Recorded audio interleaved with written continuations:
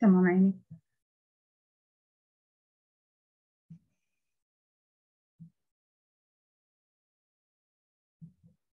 السلام عليكم ورحمة الله وبركاته.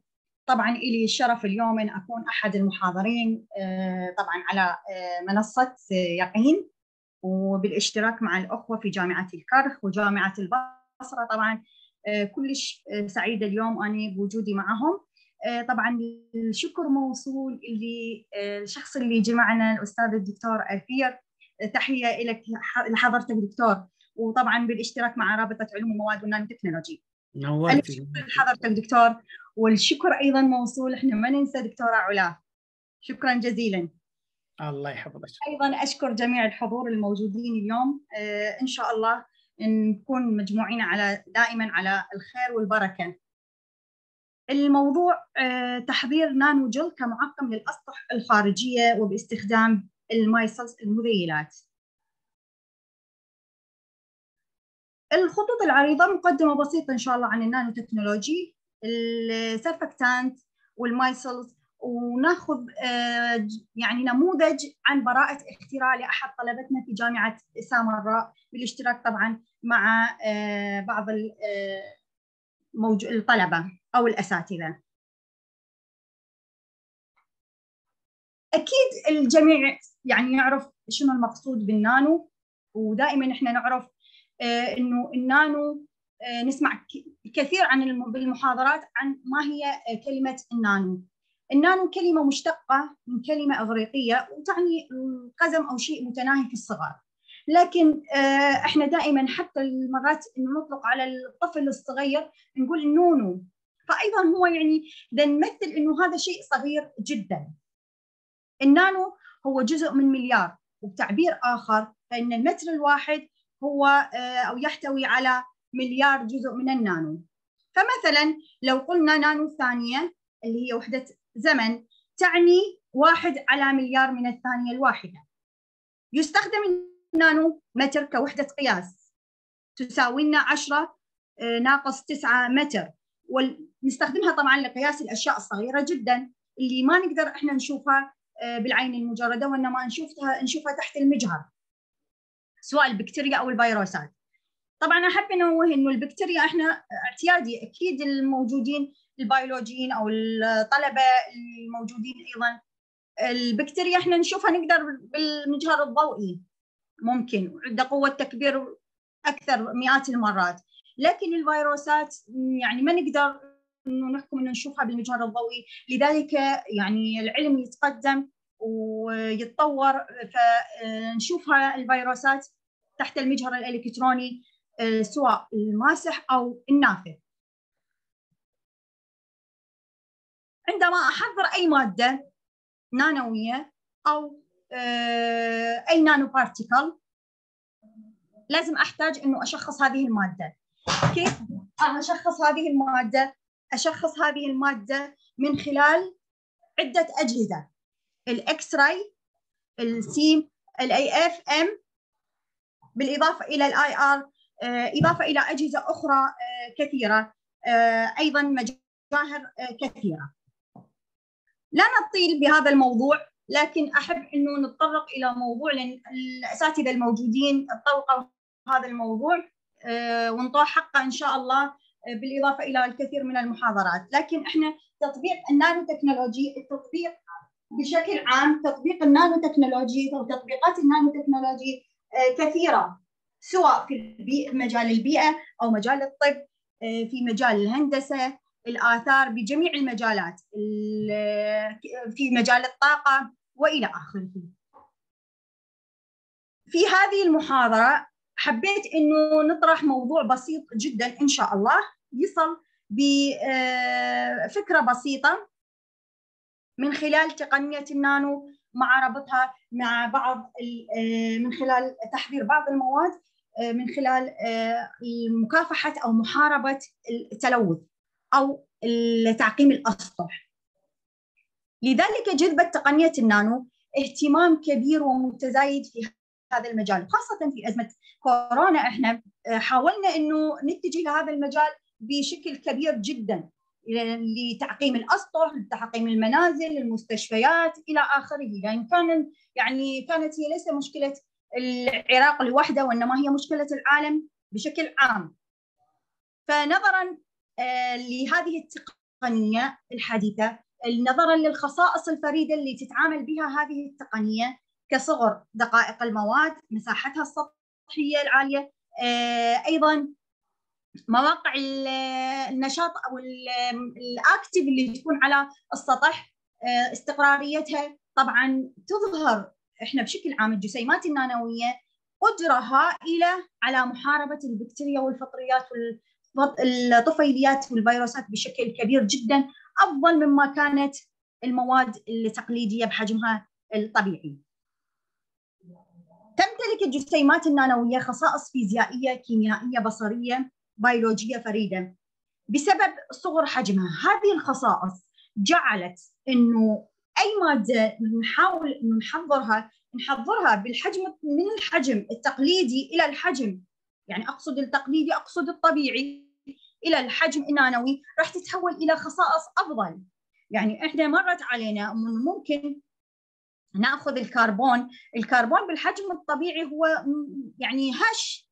لكن من نحوله إلى مادة آه، نانويه أو بالحجم النانوي راح نحصل على مادة صلدة كلش جدا آه، قوية. آه، لذلك إحنا نلجأ إلى خاصة بهذا العصر قلنا إلى تقنية النانو. وخاصة لمحاربة الأحياء أو الكائنات المجهرية الدقيقة اللي تأذي الإنسان اللي تأذي تنقل الأمراض إلى اخره. لذلك آه، التجأنا إلى تحضير بعض آه، أو لجأنا إلى تحضير معقم. المعقم للأسطح طبعا أقصد الأسطح الخارجية. فدخلنا إلى موضوع مهم جدا أخذنا السرفكتانت لتحضير هذا المعقم آه، دخلنا إلى مادة أو ما نسميها بالمواد الفعالة سطحيا السرفكتانت هذه المواد هي عبارة عن مواد عضوية آه، ممكن إنه آه، هذه المواد طبعا تكون فعالة سطحيا. هاي المواد تتجمع أو تمتز أو تتجمع بشكل ذاتي على السطح. وهي المواد اللي لها القابلية على تكوين المذيلات. نتيجة لتكوينها جزيئات كبيره عند تجمعها بالمحاليل أكيد إحنا نسمع بالسرفكتانت المواد الفعالة سطحيا. إحنا أبسط مثال عندنا في يعني حياتنا اليومية هو الصابون. فلو جينا على جزيئة السرفكتانت أو السرفكتانت منين يتكون؟ راح يتكون لنا من آه، مادة جزئين. الجزء الأول ما نسميه بلاحظ آه، آه، امامنا الجزء الأول يطلق عليه بال tail part وهو سلسلة هيدروكربونية. إذا نلاحظ هذا اللي أقصد به. ال tail هذا اللي أقصد به أني تلاحظوا لي إياها اللون الأخضر. هو ال tail part هو سلسلة هيدروكربونية. لها ألفة قوية جدا اتجاه المذيبات العضوية. ونسميه بال lyo- هذا الجزء بال lyo- بيك أما إذا كان المذيب في الماء فراح يكون يسمى آه، بهذه الحالة الكاره للماء اللي هو نسميه هيدروفوبيك. أما الجزء اللي نطلق عليه بالهيت اللي هو هذا أقصد به اللون الأحمر هو هذا الجزء المجموعة الأيونية أو المجموعة القطبية الغير أيونية اللي هي أقصد بها اللي ألفة لها ألفة قوية تجاه المذيبات القطبية. ونسميها بال lipophilic أو lyophilic. أما إذا كان المذيب الماء فيسمى المحب للماء. يعني المادة محبة للماء ال hydrophilic. ونلاحظ هذا الشكل اللي أمامنا. نلاحظ هاي هنا تجمعت عندي ال tail وهنا ال head. هذه المحبة للماء وهذه هي الجزء السلسل الهيدروكربونية المحبة للمذيبات العضوية. أنواع المواد الفعالة أو أنواع السرفكتانت هي الغير أيونية الأيونية والكت أيونية أو الزويتر أيون. نلاحظ نلاحظها سالبة والموجبه سالب موجب أيضا بالإضافة إلى إنه تكون آه، متعادلة. انتقلنا إحنا من خلال المواد الفعالة سطحيا المواد الفعالة سطحيا. عندما نجمع مادة أو مادتين مواد فعالة سطحيا أو إضافة مادة أخرى كمختصر راح نكون ما يسمى بالمايسمز اللي هي المذيلات. والمذيلات هي عبارة عن تجمعات لجزيئات المواد الفعالة سطحيا. هاي المواد آه، تتجمع ليس بآسرة آه، خلينا نقول بآسرة قوية أو آسرة تساهمية قوية. وإنما عبارة عن أواصر فيزيائية بسيطة ممكن فاندربالز أو الأواصر الهيدروجينية تضم المذيلات في الوسط المائي حوالي 10 سلاسل 10 سلاسل هيدروكربونية وهذه تتجه نحو داخل مكونة بيئة داخلية غير قطبية بينما تتجه الرؤوس دائما القطبية إلى الخارج باتجاه المذيب الموجود فيها. فلذلك نلاحظ هنالك عندنا من ال micelles أو المذيلات أشكال كثيرة. نلاحظ ال bilayer وال cylinder إلى آخره أو المذيلات اللي إحنا ندرسها اليوم أو أخذنا ال micelles نلاحظ أنه آه، تشير الأدبيات إلى كثير من آه، ظهور خواص أفضل في التطبيقات العملية. من أستخدم عندما أمزج مادتين فعاله سطحيا تكون أفضل مما كانت المادة الفعالة سطحيا لوحدها. السبب هذا آه، راح ينطينا صفات مرغوب بها آه، أو أفضل صفات أفضل سواء في الاستخدامات التطبيقية الصناعية أو الطبية وغيرها من التطبيقات الأخرى. طبعا أقصد أني هنا إنه المذيلات آه، طبعا تكون مثل ما ذكرنا ممكن تكون كروية الشكل ممكن بشكل آه، سلندر إلى آخره من الأشكال الأخرى. أفضل التطبيقات هنا حسب ما آه، لاحظنا هو بالمطهرات أخذنا نموذج من براءة اختراع لأحد طلابنا باسم فاضل. آه، بالإضافة بالاشتراك إلى مع فريق بحثي دكتورة ايمان دياب الدكتور أنور أحمد والباحث محمود شاكر والباحثة علاء منصور. كان هذا هذه البراءة في ظل أزمة كورونا. آه، حضرنا من خلال آه، هذه المواد من خلال السرفكتانت المذيلات بوجود النانو بارتيكل اللي هسه راح نبدي نشرحها بشكل مختصر حضرنا المعقم للأسطح الخارجية. فأول ما حضرنا ال Ag nanoparticles silver nanoparticle بشكل عام إحنا النانو فضة أو ال silver تكتسب هذه الجسيمات الفضية اهتمام كبير بسبب تطبيقاتها الواسعة.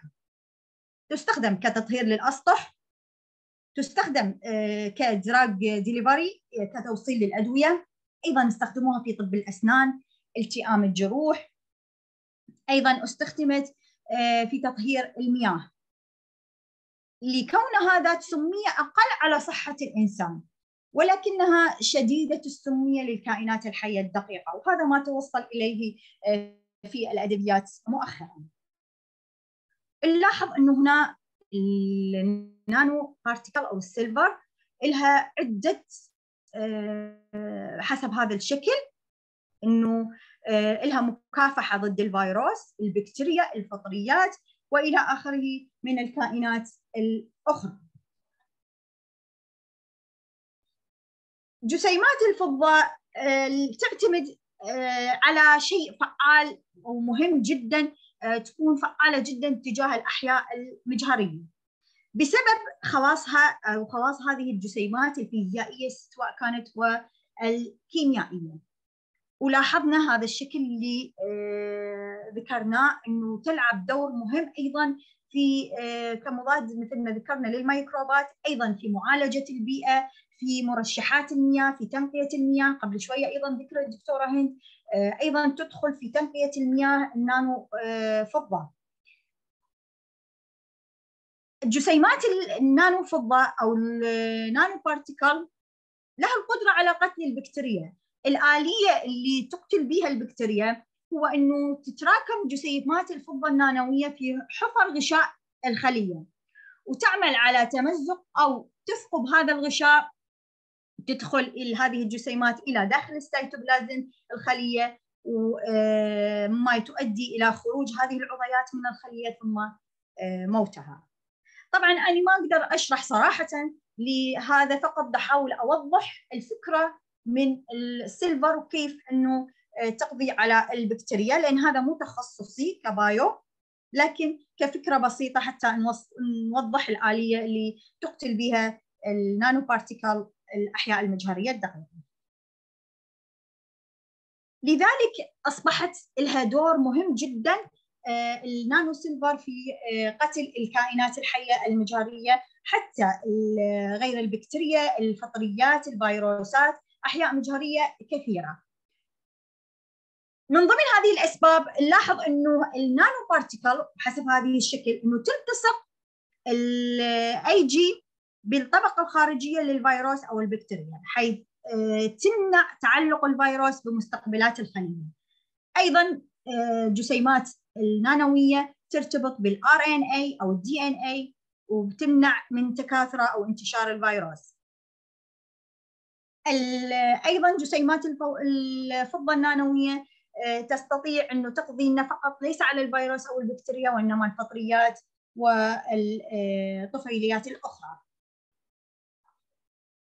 ناولنا أيضا الأكسيد التيتانيوم ولاحظنا أيضا أكسيد التيتانيوم حضرناه طبعا إحنا حضرناه هنا من مواد آه، صديقة للبيئة أو من الكيمياء الخضراء آه، أيضا للجسيمات جسيمات التيتانيوم ثنائي أكسيد التيتانيوم أيضا آه، لها خاصية مهمة جدا واستخدمت في كثير من الاستخدامات والمجالات لوجود أول طبعا لخفض التكلفه أيضا بسبب النشاط الحيوي لها الجسيمات أو جزيئات ثنائي أكسيد التيتانيوم النانوية لها تطبيقات كثيرة في تنقية المياه أيضا الهواء كمادة معقمة للاسطح أيضا تستخدم كصبغة في الدهانات في الأحبار في أقلام التلوين إلى آخره.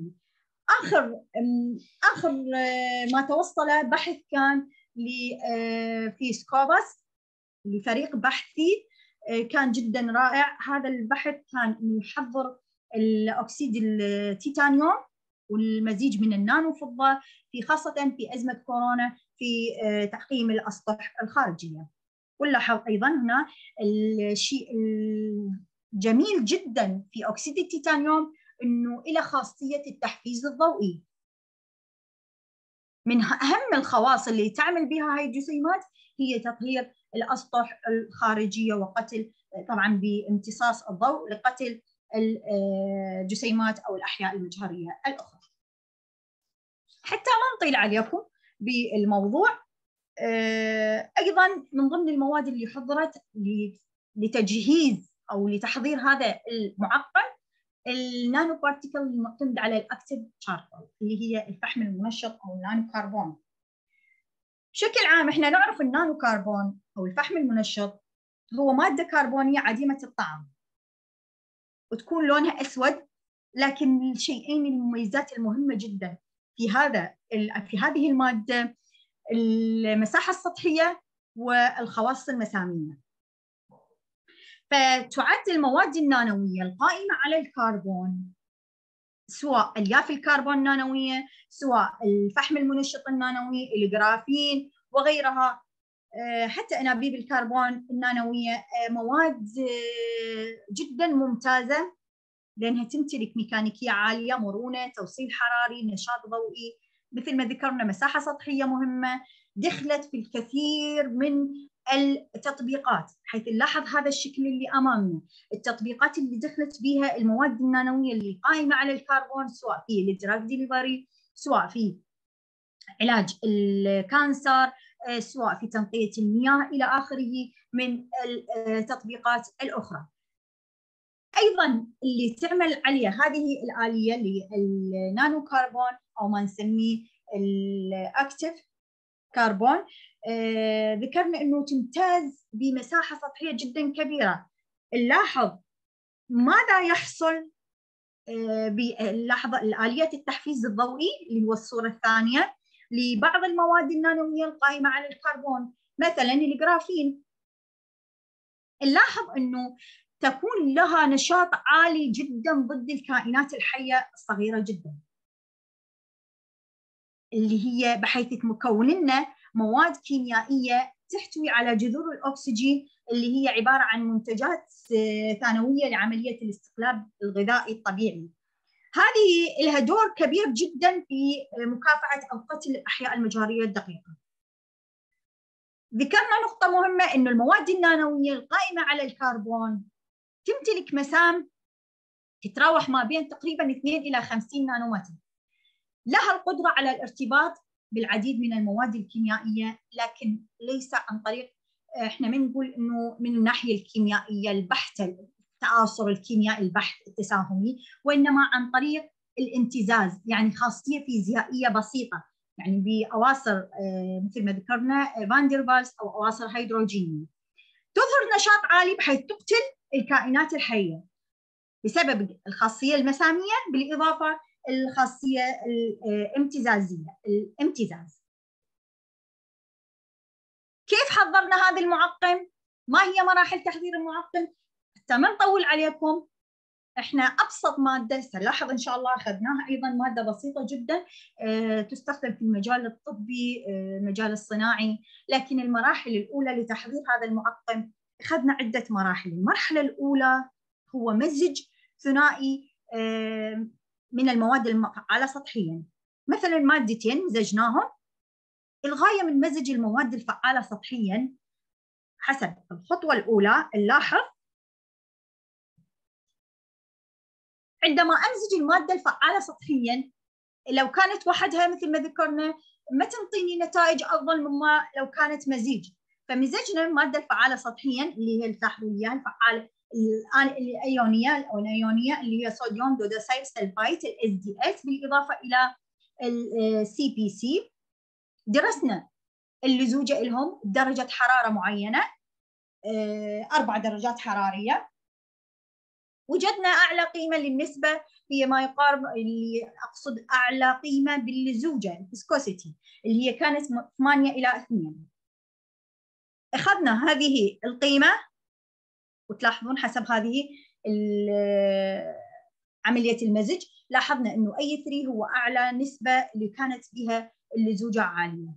طبعا أكيد آه، الشخص يفكر إنه شنو يعني اللزوجه عالية.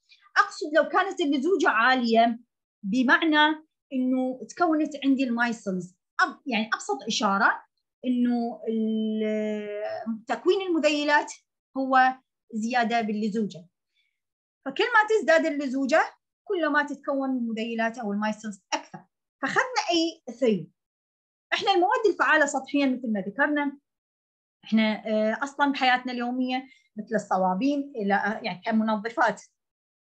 لكن دخلنا هنا المواد الفعالة سطحيا بهذا الموضوع إحنا نريد نحافظ على المعقم إنه يبقى آه، المادة الفعالة اللي راح نضيفها منتشرة داخل المحلول بحيث من نضيفها على الأسطح تكون متجانسة وليس مت... يعني متكتلة داخل العلبة للمعقم. نلاحظ هنا أعلى لزوجة مثل ما ذكرنا نسبة 2 إلى 8 كانت اللزوجه تقريبا 5 اللزوجه هنا كل ما تزداد درجة الحرارة اللزوجه تقل كل ما تنخفض اللزوجه آه، أو كل ما تنخفض آه، درجة الحرارة اللزوجه تزداد. هذا طبعا شيء ساعدنا إلى إنه إحنا أكثر الأمراض المنتشرة خلينا نقول الفيروسات إلى آخره هي في الشتاء درجات الحرارة منخفضة. فساعدتنا هذه من هذا المنطلق إنه إحنا نخلي المعقم ذات اللزوج بحيث يلتصق على الأسطح فترة أطول فترة ممكنة. لكن مع هذا لن نتوقف لهذه المرحلة. انتقلنا إلى المرحلة الثانية هو إضافة كحول. أكيد هسه شخص ما يدور بباله. إحنا أصلا الكحول هو يقتل الفيروسات أو يقتل البكتيريا وإحنا نكافح فيه ونعقب فيه طبعا. لكن بنسبة تقريبا 70 أو أكثر بالمية. إحنا اللي اخذناه آه، نسبة ضئيلة جدا من الكحول بتراكيز معينة أعلى تركيز هو كان واحد مولاري أيضا مزجناه ضفناه على المواد الفعالة سطحيا بالمرحلة الأولى ودرسناه بدرجات حرارية مختلفة ووجدنا إنه أفضل كان تركيز هو أو أفضل لزوجة كان عنده التركيز واحد مولاري. أما المرحلة الثالثة هي إضافة المواد النانوية على مزيج المواد الفعالة سطحيا والكحول اللي ضفناه واحد مولاري. أيضا نفس الطريقة حضرنا بعد تحضير دقائق الفضة النانوية أكسيد التيتانيوم النانوي المرحلة المهمة جدا في هذا الموضوع إحنا حملنا دقائق الفضة النانوية وثنائي أكسيد التيتانيوم على سطح الفحم المنشط النانوي المحضر اللي حضرناه سابقا واللي حضرناه من مادة آه، مهمة أو مادة موجودة في الطبيعة. آه، خلي قبل ما ندخل هذا الموضوع المادة هي آه، إذا سامعين بالقلمطوز أو ما نسميه بالكينة. بالعامية إحنا نقول القلمطوز بعد ما شخصنا وضفنا المواد النانوية اللي حملناها على سطح النانو كربون اللي حضرناه من آه، الأوراق الكالبتوز أو أوراق القلمطوز. طبعا هذه الأوراق آه، جدا مهمة آه، تستخدم يعني من زمان أو قديما كعلاج عشبي. أيضا استخدمت كمطهرات للجروح للالتهابات أيضا خافضه للحرارة. طبعا المصادر أيضا مذكورة إن شاء الله نهاية المحاضرة. اللي تعزز هذا العمل مالتنا. أيضا في الوقت الحالي أوراق الكينا أو مستخلص أوراق الكالبتوز آه، يظهر نشاط عالي جدا بسبب يعني الكثير من المواد اللي آه، تحتويها في المجالات سواء استخدم في المجالات الطبية مستحضرات التجميل والمنتجات الصيدلانية أيضا. لاحظنا إنه هاي الأوراق تمتلك نشاط مثل ما ذكرنا ملحوظ جدا ضد الكائنات الحية. واستخدمت خاصة الخضراء ال fresh استخدمناها وحملنا عليها ال nano car حملنا عليها عفوا المواد النانوية الأخرى. شخصنا المزيج المواد النانوية لاحظ بال AFM وال EDX وال XRD إلى آخره من التقنيات اللي أمامنا. أيضا آه، تقنية ال FTIR ومجهر صورة لل SEM بعد ما ضفنا هاي نلاحظ المواد النانوية المحمله على ال nano carbon وضفناها للمزيج. نلاحظ إنه كانت أعلى لزوجة هي كانت لواحد في عشرة السالب ثلاثة لتركيز المواد النانوية وكانت أيضا أعلى لزوجة. المرحلة الرابعة اللي ذكرناها اللي هي آه، مثل ما لاحظنا اللي هو مستخلص القلمطوز أو الكالبتوز لمزيج المواد النانوية. ونلاحظ هنا آلية قتل البكتيريا بواسطة الزيوت الأساسية بالكالبتوز إحنا هنا آه، استخدمنا أوراق الكالبتوز بمرحلتين. المرحلة الأولى حضرنا منها, النانو كربون والمرحلة الثانية حضرنا منها محلول أو مستخلص آه، الكالبتوز اللي كافحنا ب آه، أو سوينا به المعقم. بمعنى إنه إحنا أخذنا واحد مولاري من الكحول لكن أخذنا الكمية الأكبر هو من مستخلص الكيمياء بالإضافة إلى المواد النانوية المحملة على النانو كربون نلاحظ هذا شكل المستخلص قبل وبعد التحضير. هذه شكل العينات. وهذا شكل العينه النهائية. للمعقم المحضر أكيد لاحظ هسه هنا تلاحظون المعقم النهائي الآخر واحد اللي هو الحرف جي كل مرحلة ضفناها أو كل مرحلة كل مادة انضافت انضافت على أساس علمي بحت. يعني ضفنا المادة النانو فضة ضفناها لأن هي مادة معقمة. وقد تقتل البكتيريا. الأكسيد التيتانيوم أيضا إنضاف إلى قابلية أو خاصية التحفيز الضوئي. أما الفحم المنشط أو النانو كربون ضفناه هنا لشيء مهم جدا هو لتحميل المواد النانوية. ومن أجل بقائها على الأسطح طبعا إحنا لو نضيف المعقم يعني ضفناه على الأسطح بشكل بدون يعني فقط المواد النانوية بدون أي آه، مضافات أخرى يعني أقصد بدون النانو كربون ممكن تتطاير أو ممكن آه، ما تبقى فترة طويلة على الاسطح إحنا هنا بوجود ال nano carbon حاولنا إنه نلزم ال nanoparticle أكبر وقت ممكن على الأسطح حتى يقتل البكتيريا أو الفيروسات أو الجراثيم. هذا هنا هذه الصورة آه، أو ال slide الواضح أمامكم. نلاحظ المرحلة الأولى من ضفنا المواد الفعالة مزيج المواد الفعالة سطحيا. المرحلة الثانية اضافه الكحول. الثالثة الأخيرة نلاحظ إنه المايسلز من كانت كروية تحولت إلى في كل مرحلة إلى خيطية. وهذا الشيء جدا ساعدنا إنه تبقى هذه المواد آه، حاملة للمواد النانوية بوجود المستخلص الكناء على الأسطح لفترة طويلة جدا. المرحلة الأخرى آه، بحسب تخصصي درسنا الدوال الثرموديناميكية لهذا المعقم التلقائية المادة تكون باعثة للحرارة ماصة للحرارة هل هو تلقائية على الأسطح أو الغير تلقائية بالإضافة إلى طاقة التنشيط ولاحظنا إنه المادة آه، تكون طبعا تلقائية وتكون باعثة للحرارة بالإضافة إلى إنه العشوائية هنا قلت.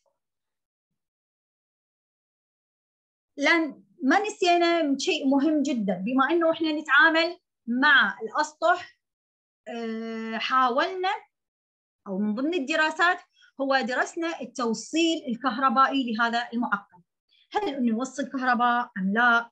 آه، التوصيلية مالته كانت بدرجات حرارية أيضا درسناها مختلفة.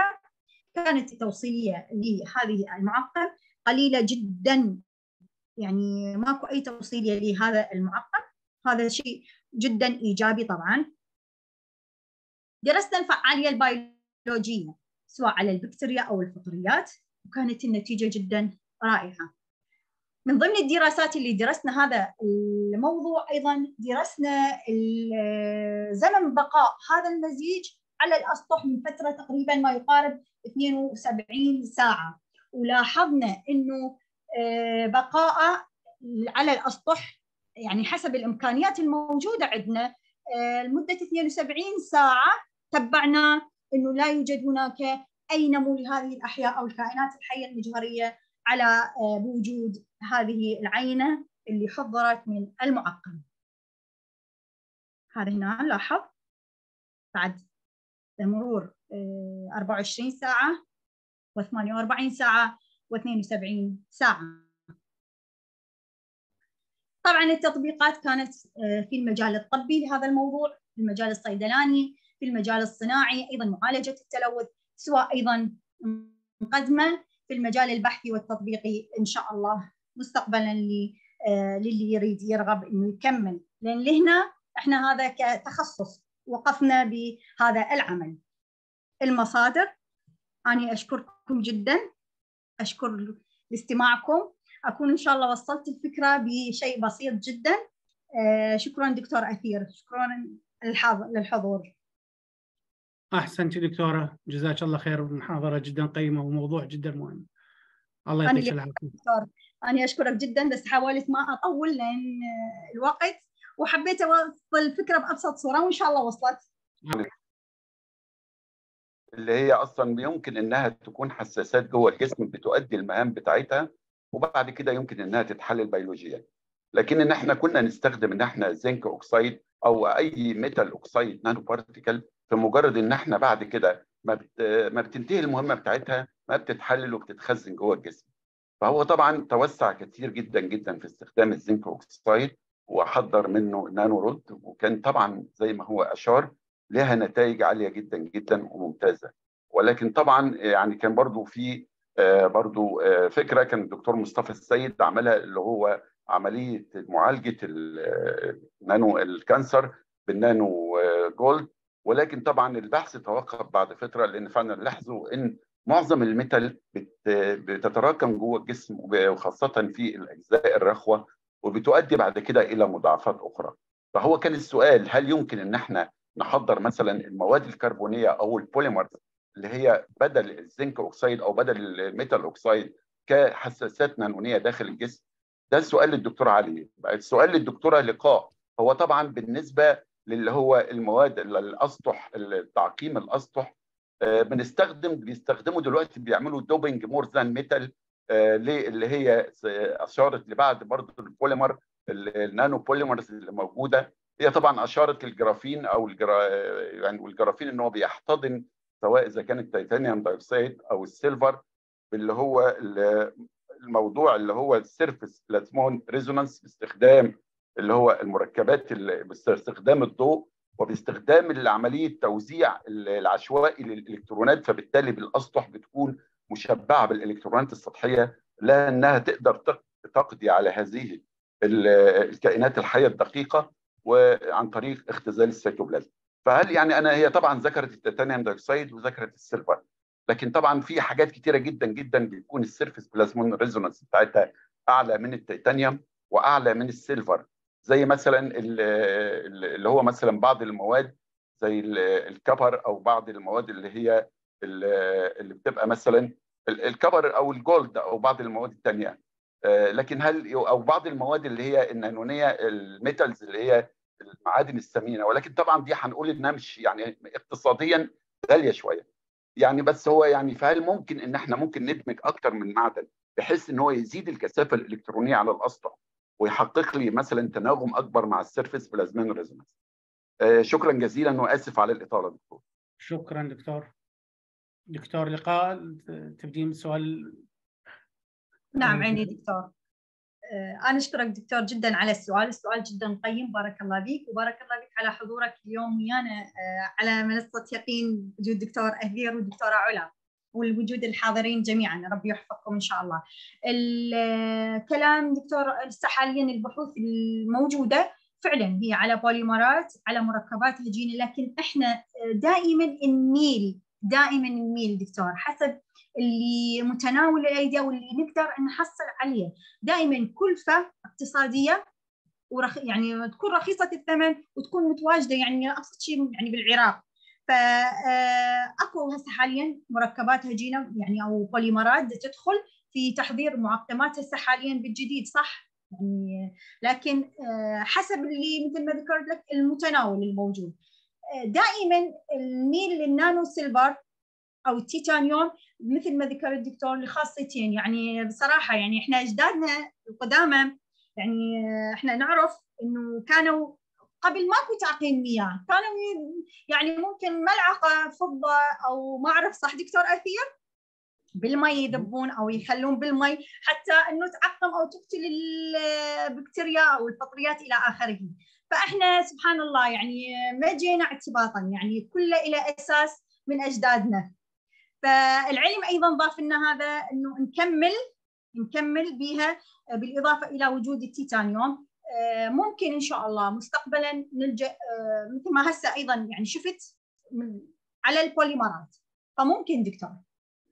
شكرا جزيلا. شكرا, شكرا. دكتور دكتور علي؟ السلام عليكم. عليكم, وعليكم السلام. ورحمة الله وبركاته. إحنا سعداء جدا بوجود دكتور السيد معانا اليوم. إحنا أسعد والله يا دكتور علي ربنا يبارك في حضرتك. أكيد. حفظك الله. أكيد إحنا سعداء. وشكرا جزيلا على السؤال. بالحقيقة دكتور يعني أنا عملي هو هو متحسس بمعنى دايجنوزز اللي ذكرته جنابك بخصوص ال cancer يدخل ضمن ال therapy. حقيقة يعني ما ما مشتغل إنه بهالمجال هذا بهالاتجاه الشيء الآخر أكثر عملنا كان في مجال ال metal يعني إذا لاحظت جنابك إنه أكثر وأكثر شيء أكثر material استخدمته هي ال zinc oxide ومثل ما ذكرت بالمحاضرة إنه ومو وأكيد يعني تعرفون حضراتكم إنه ال zinc oxide إلى مجال واسع للتطبيقات. وهو سيد هو آمن بالتعامل. ما ما لي تأثيرات جانبية من الممكن إنه تكون سلبية أو سيئة. الحقيقة في مجال المتحسسات وخصوصا في مجال ال piezo مثل ما ذكرت. انه إحنا إيش نحتاج؟ نحتاج كريستال أو مادة polycrystalline تكون anisotropic حتى تنطيني أو تحقق ال piezoelectric properties فما اعرف ذكرت حضرتك إنه ال ال ال الكربون أو ال graphene أعتقد كاستخدام دكتور سيد العفو. دكتور سيد؟ يا دكتور مع حضرتك بان أنا يعني أنا بتكلم على مثلا المواد اللي هو البوليمر الموجودة زي مثلا graphite ال carbon oxide أو graphite ال carbon nitride أو بعض اللي هو ال graphene أو ال graphene oxide بحيث إن هذه المواد إنها ممكن يعني بعد ما تؤدي المهمة بتاعتها عملية الحساسات الإلكترونية ان إنها ممكن تتحلل بيولوجيا وفي كمان طبعا مواد جديدة اللي هي مستخلصة من السلولوز والمواد ديت ممكن برضو اللي هو ال nano ال nanofiber بتاعتها ممكن هل تقوم مكان أو نستبدلها مكان ال zinc oxide؟ حقيقة ما يعني أنا ما اشتغلت بهال بهالاتجاه هذا. يعني هل إنه من الممكن آه okay من الممكن نرجع نسوي دراسة عليها. وهذا هذه دعوة إلى أنه آه مشروع عمل آه خلينا نقول project إذا إذا تحب حضرتك يعني يكون بالتعاون مع جنابكم إنه ندخل ب على الرحب والسعه يا دكتور على الرحب والسعه طبعا. يشرفنا يشرفنا إحنا دائما يشرفني أكثر دكتور. أنا حاضر إن شاء الله. لكن مثل ما ذكرت جنابكم إنه أكثر ال ال العمل اللي اشتغلت به هو بال zinc oxide وكان أيضا ال SnO 2 اللي هو ال tin dioxide أيضا كان حيز من مجال عملنا وجزء بسيط كان بال cadmium oxide.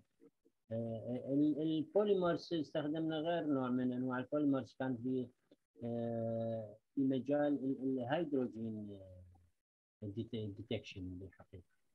لكن المتغلب كان هو الزفاف. تمام. شكرا جزيلا. شكرا جزيلا.